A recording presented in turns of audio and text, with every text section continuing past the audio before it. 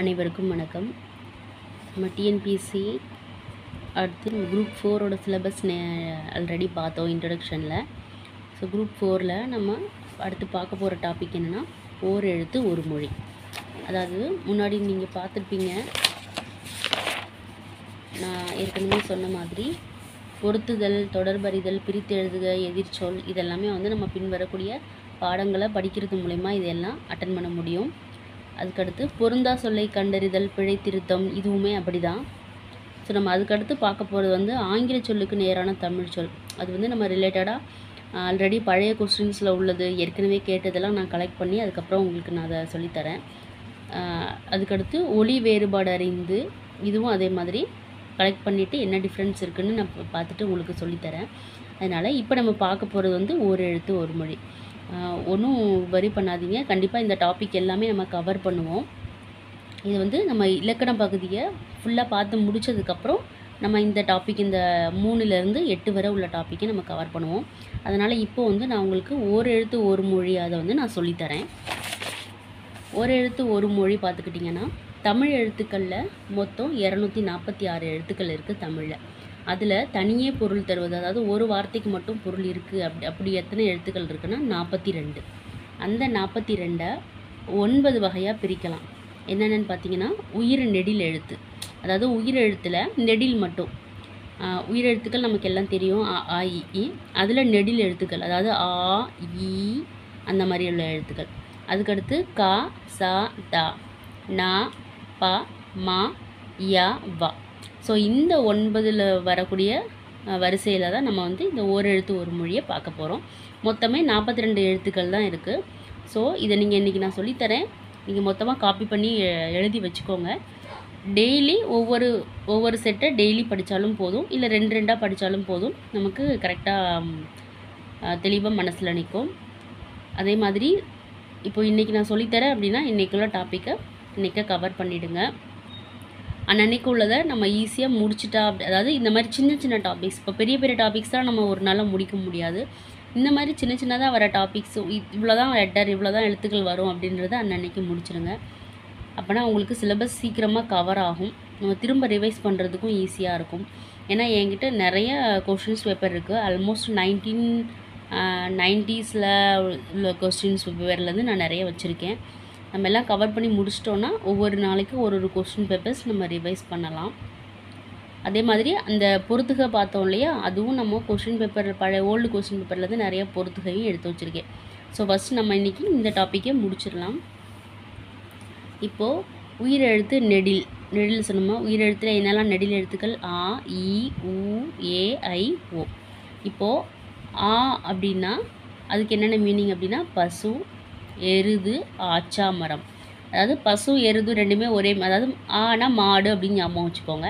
So பசுன்னு கேட்டாலும் நீங்கள் அதுக்கு பொருத்தமாக எழுதிடலாம் எருதுன்னு ஆப்ஷன் இருந்திருந்தாலும் நீங்கள் டிக் பண்ணிடலாம் அது போக ஆச்சா மரம். இது எப்படி ஞாபகம் வச்சுக்கோன்னா நம்ம மரத்தை எப்படி அண்ணாந்து தானே பார்ப்போம் இல்லையா? ஸோ ஆச்சா மரம் அப்படி ஞாபகம் வச்சுக்கோங்க. அதுக்கடுத்து ஈ. ஈ என்ன பண்ணும்? ஈங்கிறது என்னது? பறக்கும் ஈ. அப்போது பறக்கிறது எல்லாமே என்னது? வண்டு தேனி இது எல்லாமே ஈயில் வந்துடும் அது போக அழிவு அம்பு அரை நாள் பாம்பு கொடு. இவ்வளோ வார்த்தைகள் இருக்குது கொஞ்சம் அதிகமாக இருக்க வார்த்தைகளை மனப்பாடம் பண்ணிக்கோங்க. ஊ. ஊ பார்த்தோம்னா இறைச்சி உணவு விகுதி. இறைச்சிங்கிறது என்னது? உணவு தான். ஸோ இறைச்சி உணவு விகுதி ந இறைச்சி உணவு விகுதி நிறையா இருக்குது அப்படின்னு ஷார்ட்கட் மாதிரி ஞாபகம் வச்சுக்கோங்க. அதுக்கடுத்து நம்ம பார்க்க போகிறது ஏ நெடில். ஏ அப்படின்னா அம்பு அம்பு வந்து எய்தல். So A. அப்புறம் எய்தலுங்கிறது என்னது? எய்யும் தொழில். அதுக்கடுத்து இருமாப்பு. அதாவது கோவமாக இருக்கிறது சொல்லுவாங்க. அப்போது கோவமாக இருக்கிறதுனால நம்ம அம்பு எய்கிறோம் அப்படின்னு ஞாபகம் வச்சுக்கோங்க. அதுக்கடுத்து ஐ.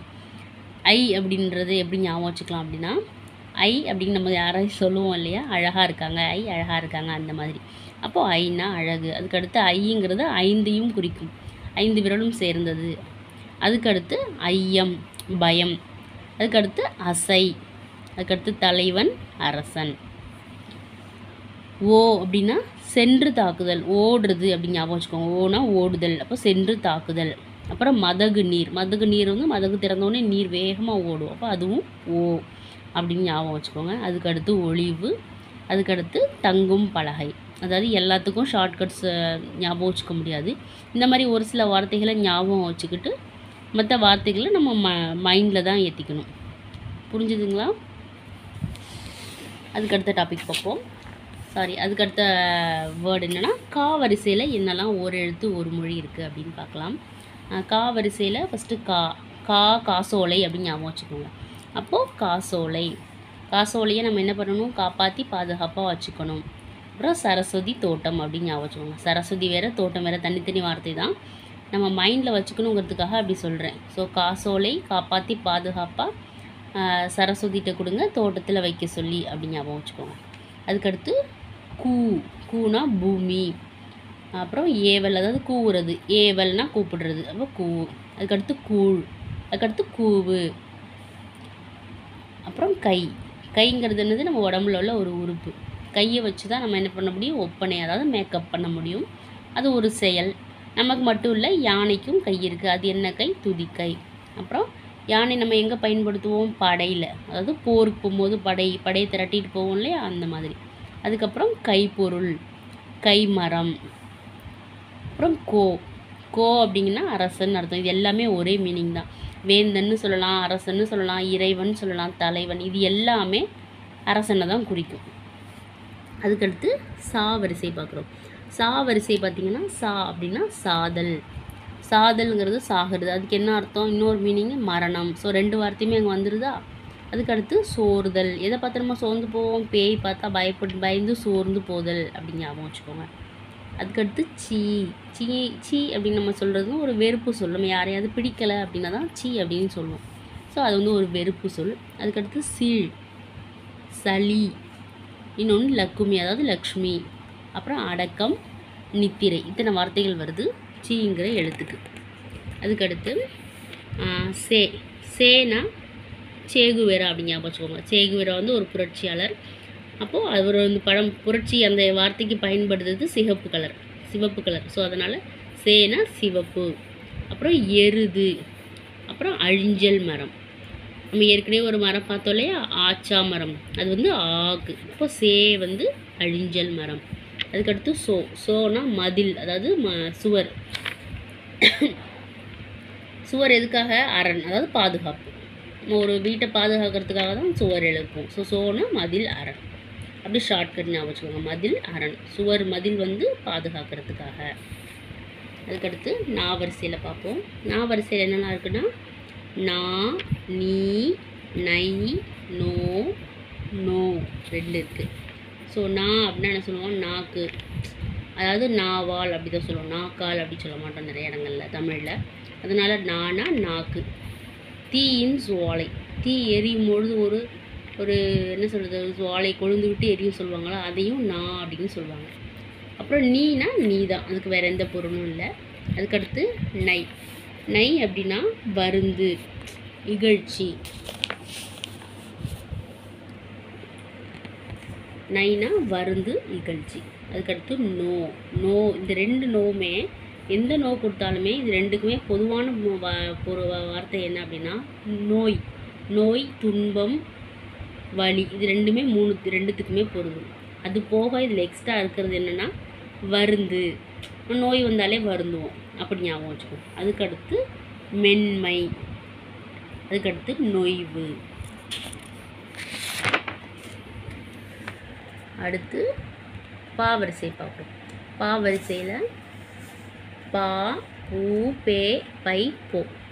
இந்த ஐந்து வார்த்தைகள் இருக்குது இப்போ பா அப்படின்னு என்ன சொல்லுவோம்? அழகு. அதாவது அழகு பாட்டு நிழல் இந்த மூணு வார்த்தை. அதுக்கடுத்து பூ. பூனா என்ன? மலர். மலரில் சூதகம் இருக்கும். அப்புறம் பே. பேனா அச்சம் நுரை வேகம். பேனா பே அப்படி ஞாபகம் வச்சுக்கோங்க. பே பார்த்தா பயப்படுவோமா? அப்புறம் நுரை அப்புறம் வேகம் அப்புறம் பை. பைக்கு என்ன அர்த்தம்? பை கையில் கொண்டு போகிற பை.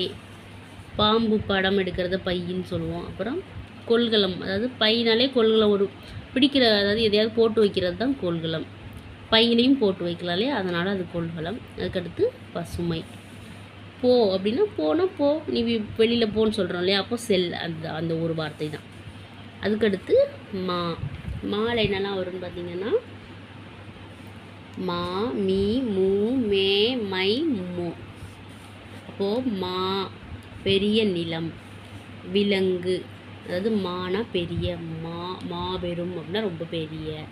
அப்போ மாங்கிற வார்த்தை எதை குறிக்குது? பெரிய. அதுக்கடுத்து நிலம். அதுக்கடுத்து விலங்கு. அப்புறம் மாமரம். மாமரத்தை மா மா மா மாங்கன்று அப்படின்னு சொல்லுவோம் இல்லையா? அந்த மாதிரி.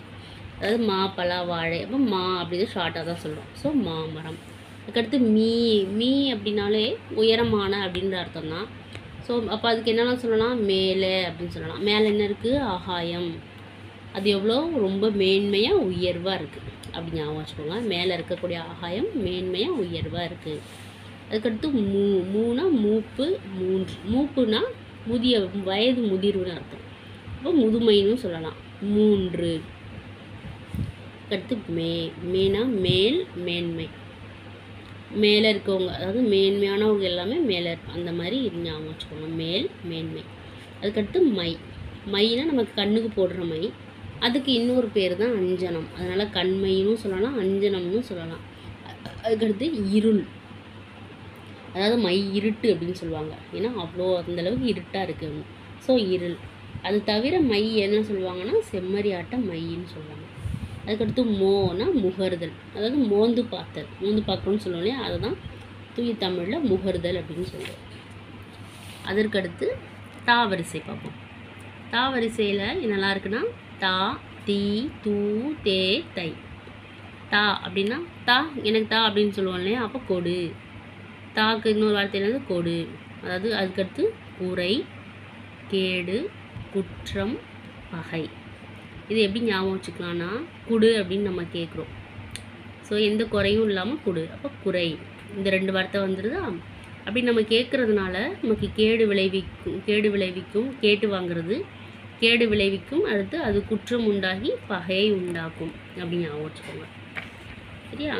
குறைவில்லாமல் கொடு கேடு குற்றம் பகை. அதுக்கடுத்து தீ தீனா நெருப்பு. நெருப்பு.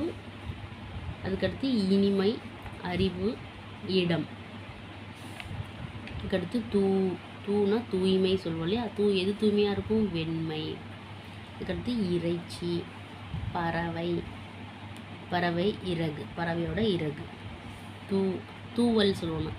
எங்கள் வீட்டிலலாம் கோழி தூவல் அப்படின்னு சொல்லுவாங்க. தூவல்னால் என்னது? அப்போ பறவையோட இறகு. ஸோ தூணா வெண்மை இறைச்சி பறவை இறகு. அதுக்கடுத்து தே கடவுள். தேடுறது கடவுளை தான் நம்ம தேடுவோம். அதுக்கடுத்து தை. தைனா தமிழ் மாதத்தில் வரக்கூடிய ஒரு மாதம். அப்புறம் தையல். அது வந்து தையம் இல்லை. தையல். அதுக்கடுத்து திங்கள். திங்கள்னாலும் மாதம்னு தான் மீனிங் ஆகும். ஸோ தைக்கிறது என்ன? மூணு வார்த்தைகள் இருக்குது தமிழ் மாதம் தையல் அதாவது துணி தைக்கிறது திங்கள். அதுக்கடுத்து தூ. தூக்கு என்னலாம் இருக்குன்னா?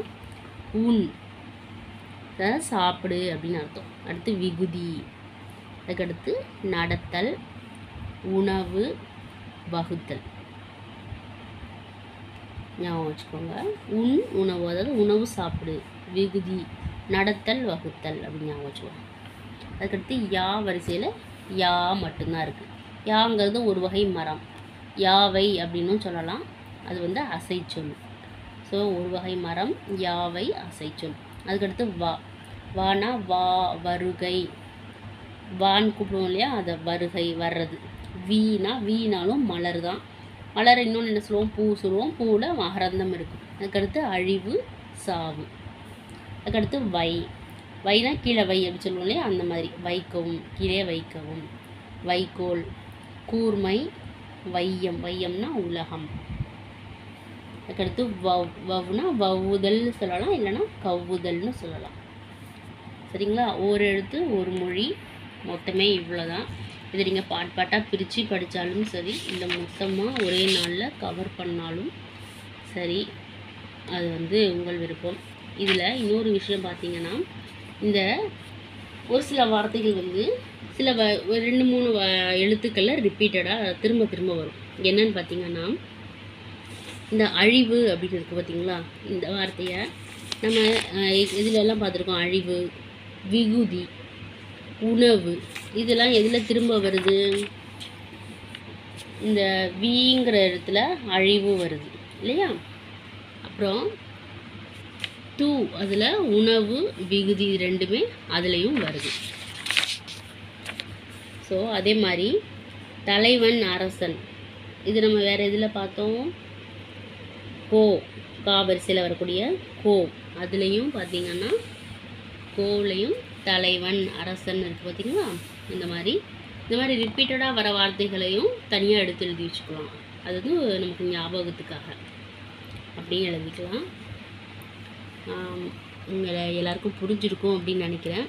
ஸோ ஒரு எழுத்து ஒரு மொழி இவ்வளோ தான் இதை நல்ல மனப்பாடம் பண்ணிட்டு எழுதி வச்சுருவேன் பார்க்காம ஒரு தடவை எழுதி பாருங்கள் அப்படி நல்லா பா எழுதி பார்த்துட்டோம் அப்படின்னா ஒரு எழுத்து ஒரு மொழியிலேருந்து எத்தனை கொஷின் கேட்டாலும் நம்ம ஈஸியாக அட்டன் பண்ணலாம். கண்டிப்பாக மார்க்ஸ் கிடைக்கும். அடுத்த டாப்பிக்கோட மறுபடியும் நாளைக்கு சந்திக்கலாம்.